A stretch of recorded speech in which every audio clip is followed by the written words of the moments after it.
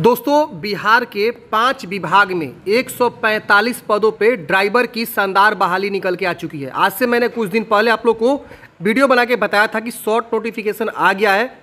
एक तारीख से फॉर्म फिलअप स्टार्ट हो जाएँगे, लेकिन 31 तारीख को इसका फुल नोटिफिकेशन आ जाएगा। तो फाइनली फ्रेंड, जो इसका फुल नोटिफिकेशन आ चुका है, हम सब चीज़ इसके बारे में डिस्कस करेंगे। एज लिमिट, क्वालिफिकेशन, सैलरी किस किस विभाग में कितना सीट है किसको रिजर्वेशन मिलेगा, उम्र में किसको छूट मिलेगा फॉर्म भरने के लिए अप्लीकेशन फ़ी क्या है क्वालिफिकेशन क्या है ड्राइविंग लाइसेंस कौन सा वाला आपको चाहिए, सब चीज़ हम यहाँ पे डिस्कस करने वाले हैं। तो वीडियो को पूरा लास्ट तक देखते रहिए ताकि आपको सारी इन्फॉर्मेशन जो है अच्छे से समझ में आ सके। वीडियो थोड़ा सा लंबा होगा, लेकिन आपको जो है विस्तृत जानकारी आपको यहाँ पे मिलने वाली है इस भर्ती के रिगार्डिंग तो फुल नोटिफिकेशन डिस्कस हम करेंगे इस वीडियो में। कल मैं आप लोग को एक प्रॉपर वीडियो बना के बता दूँगा कैसे आपको फॉर्म को भरना है। कल से फॉर्म फिलअप इसका स्टार्ट हो जाएगा। तो देखिए यहाँ पे जो है, विभिन्न विभागों में वाहन चालक के कुल 145 पदों पे वैकेंसी निकाली गई है। सबसे ऊपर आप विज्ञापन संख्या यहाँ पे देख सकते हैं। और इस एग्ज़ाम को जो कंडक्ट करेगा, वो बिहार तकनीकी सेवा आयोग, यानी बिहार बीटीएससी करने वाला है। एक नौ से फॉर्म फिलअप भरे जाएँगे और तीस नौ तक आप जो है, बिहार बीटीएससी की वेबसाइट से फॉर्म को भरेंगे। वाहन चालक के पद पर जो वैकेंसी है उसके लिए सबसे पहले क्वालिफिकेशन और वेतन बोला गया है। तो वाहन चालक का पद है, यानी ड्राइवर की वैकेंसी है। वेतन आपको बावन ग्रेड पे देखने को मिलेगा। सॉरी ग्रेड पे आपका जो है 1900 है, वेतन स्तर, द्वितीय स्तर का है। और वेतन बावन से लेकर बीस हज़ार दो सौ आपको सैलरी यहाँ पे देखने को मिलेगा। यानी आपकी जो सैलरी मोटा मोटी बनेगी ना, सब चीज़ मतलब डी ए पी ए वगैरह ऐड करके वो लगभग लगभग जो है तीस हज़ार प्लस आपको सैलरी यहाँ पे देखने को मिलेगी स्टार्टिंग सैलरी जी हाँ दोस्तों। और इसमें योग्यता जो बोला गया है, वो आपको उम्मीदवार की न्यूनतम शैक्षणिक योग्यता जो है, मैट्रिक पास होना चाहिए। यानी कम से कम आप मैट्रिक पढ़े हो तो आप फॉर्म को भरेंगे। अगर मैट्रिक के अलावा बारहवीं भी पढ़े हो तो भी फॉर्म भर सकते हैं। ग्रेजुएशन भी किए तो भी फॉर्म भर सकते हैं। मिनिमम जो है, न्यूनतम शैक्षणिक योग्यता मैट्रिक बोला गया है। और वाहन चालक को वैध लाइसेंस होना चाहिए। कोई भी एल हो या एच हो आपके पास कोई भी एक जो है वैलिड ड्राइविंग लाइसेंस होना चाहिए फोर व्हीलर का। फोर व्हीलर में दो तरह का हो जाता है ड्राइविंग लाइसेंस एक हो जाता है एच जो हेवी मोटर व्हीकल होता है। एक होता है L M V L M V मतलब हो जाएगा फ्रेंड्स लाइट मोटर व्हीकल तो दोनों में से कोई भी आपके पास जो है ड्राइविंग लाइसेंस है तो आप फॉर्म को भर सकते हैं। ठीक है ना? अब यहाँ पे बोला गया कि या, यातायात नियम उनको अच्छी जानकारी होनी चाहिए। तो ऑब्वियसली अगर आप ड्राइविंग कर रहे हैं तो यातायात का नियम आपको पता होना चाहिए। वाहन चालक की उन्हें सामान्य जानकारी रहना चाहिए और स्वस्थ होना आवश्यक है। तो आप मेडिकली फिट हो और आपको जो है ड्राइविंग का जो है नॉलेज होना चाहिए और वाहन चालक का जो नियम होता है रूल्स होता है, वो आपको पता होनी चाहिए। ट्रैफ़िक रूल्स जो होते हैं बेल्ट पहनने का, कुछ मोटर्स के जो भी रूल्स होते हैं। अब कहाँ कहाँ वैकेंसी है, इसमें महिला भी आवेदन दे सकती है। आप देखिए, महिला के लिए भी सीधे 35 परसेंट आरक्षण दे दिया गया है। देखिए यहाँ पे 35 परसेंट महिलाओं के लिए आरक्षण है। कैटेगरी वाइज वैकेंसी है और जो स्वतंत्रता सेनानी के पोता, पोती, नाता, नतनी है, उनके लिए भी अलग से आरक्षण यहाँ पे दिया गया है। तो आरक्षण देखेंगे और जनरल के लिए ई e के लिए एस सी एस और ई e और बीसी और पिछड़ा वर्ग यानी डब्ल्यूबीसी महिला के लिए कितना सीट है, यहाँ पे जो है कॉलम दिया गया है। तो आप इस तरह से समझ सकते हैं।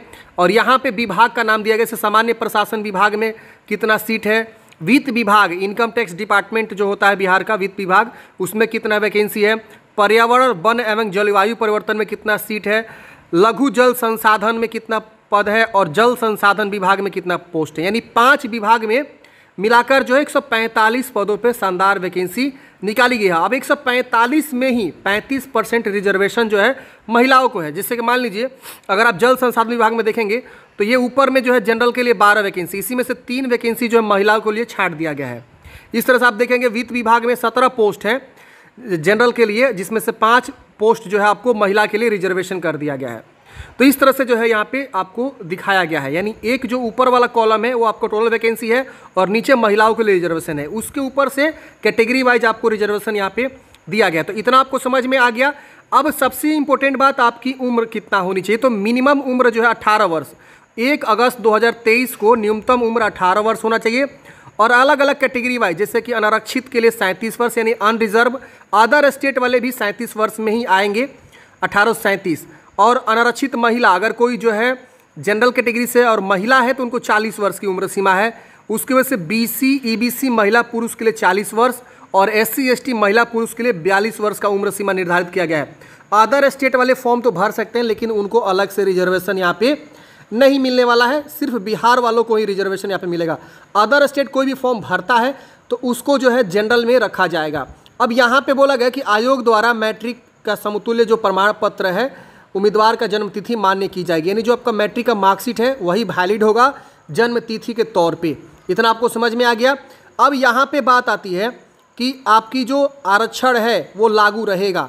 तो आरक्षण उन्हीं को लागू रहेगा। मैं आपको अगेन बोल देता हूँ, जो बिहार का स्थायी निवासी है, उन्हीं को जो है आरक्षण लागू होगा। अब इसमें से कई सारे ऐसे लोग हैं जो इसका लाभ लेना चाहेंगे। जैसे कि एस सी से हैं तो उसका लाभ लेंगे आप, B C, E B C से हैं तो उसका लाभ लेंगे, ई डब्ल्यू से उसका लाभ लेंगे। तो इसके लिए आपको अपना जो है जाति सर्टिफिकेट और निवास सर्टिफिकेट बनवाना होगा। अगर कोई एस सी से आता है और वो फॉर्म भर रहा है तो उनको जाति सर्टिफिकेट लगेगा और बिहार का स्थायी निवास प्रमाण पत्र उनको देना होगा। पिछड़ा वर्ग, अत्यंत पिछड़ा वर्ग अगर कोई उम्मीदवार है तो वो अपना जो है क्रीमी लेयर प्रमाण पत्र यहाँ पे देगा और स्थायी प्रमाण पत्र भी यहाँ पे लगेगा, जिसको डोमिसाइल सर्टिफिकेट बोलते हैं। तो यहाँ पे दिया गया। उसके बाद अगर कोई ई डब्ल्यू कैटेगरी से आता है तो अपना जो है जो ई डब्ल्यू एस प्रमाण पत्र बनता है वो लगेगा और स्थायी प्रमाण पत्र लगेगा। तो इस चीज़ को आपको विशेष ध्यान देना है। जो भी लोग अपना रिजर्वेशन लेना चाहते हैं, वो अपना जो है जाति सर्टिफिकेट बनवाएँगे। B C B C category में जो नॉन क्रिमिनल सर्टिफिकेट बनता है, वो आपको यहाँ पे बनवा के लगाना है। और बिहार के निवासी जितने लोग हैं, वो फॉर्म भरना चाहते हैं तो उनको अपना जो है निवास प्रमाण पत्र देना बहुत ज़्यादा मैंडेटरी है। अब बात आती है कि फॉर्म भरने के लिए आवेदन शुल्क कितना लगेगा? तो देखिए, अगर कोई जनरल है या अदर स्टेट से है पिछड़ा वर्ग, अत्यंत पिछड़ा वर्ग और ईडब्ल्यूएस यानी बी सी जनरल और अदर स्टेट को यहाँ पे छः सौ रुपये आवेदन शुल्क देना होगा। एस सी से कोई आता है और बिहार का निवासी है तो उनको डेढ़ सौ रुपये अप्लीकेशन फ़ी है। आरक्षित, अनारक्षित, यानी अगर कोई बिहार की महिला अगर फॉर्म भरती है, भले वो किसी कैटेगरी से आती हो तो डेढ़ सौ रुपये अप्लीकेशन फ़ी है और बिहार राज्य से जो बाहर है उनको छः सौ रुपये ठीक है, भले वो महिला हो या पुरुष उनको छः सौ रुपये यहाँ पे आप आवेदन शुल्क देख लेंगे, यही आपका आवेदन शुल्क लगने वाला है फॉर्म भरते समय। अब यहाँ पे आप जो है ऑनलाइन मोड में जो है पेमेंट को जमा करेंगे और फॉर्म भरते समय आपको जो है ड्राइविंग लाइसेंस देना मैंडेटरी है। चार पहिया वाहन का वैध ड्राइविंग लाइसेंस होना आवश्यक है। इसके अतिरिक्त एक जो है पहचान पत्र पहचान पत्र में जैसे कि Aadhaar card, voter ID card, driving licence, PAN card कोई भी एक आईडी प्रूफ आप देंगे फॉर्म भरते समय ये लगेगा। तो ड्राइविंग लाइसेंस मैंडेटरी है साथ साथ एक आईडी प्रूफ भी आपको मैंडेटरी अलग से ड्राइविंग लाइसेंस के अलावा। बाकी मैट्रिक का बेस पे वैकेंसी है तो मैट्रिक का भी सर्टिफिकेट लगेगा फ़ोटो सिग्नेचर ये सब आपको जो है फॉर्म भरते समय लगेंगे।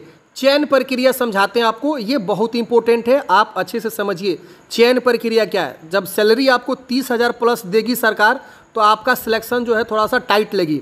अब सिलेक्शन में क्या है कि सबसे पहले आपका जो है रिटर्न टेस्ट होगा। रिटर्न टेस्ट आपका कंप्यूटर बेस्ड होगा। यानी ऑनलाइन आपका जो है, प्रतियोगिता परीक्षा आयोजित की जाएगी सीबीटी एग्ज़ाम होगा। जिसमें बोला गया है कि प्रश्न पत्र बहुविकल्प होंगे और वस्तुनिष्ठ होंगे। वस्तुनिष्ठ मतलब ऑब्जेक्टिव टाइप और यहाँ पे 100 अंकों का एक प्रश्न पत्र होगा, जिसमें प्रश्नों की कुल संख्या 100 होगी। और परीक्षा की अवधि दो घंटे का होगा। प्रश्न पत्र हिंदी, अंग्रेज़ी दोनों भाषा में रहने वाले। यानी 100 क्वेश्चन 100 मार्क्स के दो घंटा समय आपको मिलेगा। परीक्षा में गलत उत्तर के लिए आपको निगेटिव मार्किंग भी दिया जाएगा। प्रत्येक सही उत्तर के लिए एक अंक दिया दिया जाएगा और गलत उत्तर के लिए 0.25 अंक काट लिए जाएँगे। तो निगेटिव मार्किंग भी यहाँ पे रहने वाला है।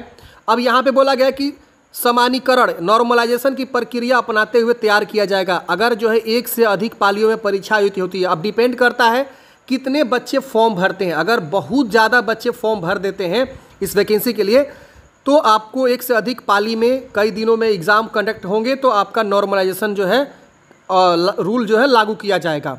अब पाठ्यक्रम बोला गया है कि कंप्यूटर बेस्ड जो होगा, उसका जो पाठ्यक्रम है, वही रहेगा। सामान्य बुद्धिमता तर्क शक्ति न्यूमेरिकल और सामान्य ज्ञान, एवं समसायिक यानी करंट अफेयर्स जो होते हैं, जन जी एस जी के जी एस जो होता है। तो ये आपके जो है कंप्यूटर बेस्ड जो टेस्ट होगा, उसका जो है मैट्रिक स्तर का जो है आपका यहाँ पे सिलेबस रहने वाला है। मैट्रिक लेवल पे जो सिलेबस रहता है, वही रहेगा बुद्धिमता तर्क शक्ति नोमेरिकल एप्टीट्यूड और जी के जी एस ये आपका जो है यहाँ पे रहने वाला है।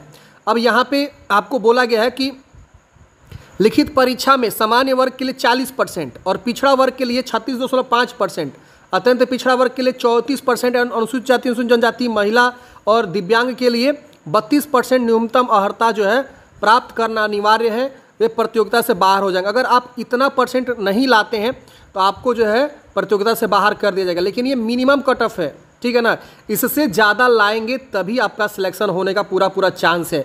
तो रिटर्न एग्ज़ाम में आप लोग कोशिश करिएगा, जो ये कट ऑफ़ दिया गया न्यूनतम, उससे कहीं ज़्यादा आप लाएँगे, तभी आपका सिलेक्शन होगा। इतना बस आपको क्वालिफाइंग नेचर में दिया गया है, ठीक है ना? अब यहाँ पे बोला गया कि कंप्यूटर बेस्ड टेस्ट में अभ्यर्थियों को अपना कोटि के अनुसार न्यूनतम अर्हता प्राप्त नहीं होने के कारण प्रतियोगिता से बाहर हो जाने के लिए अभ्यर्थियों को कोई दावा मान्य नहीं किया जाएगा, ठीक है?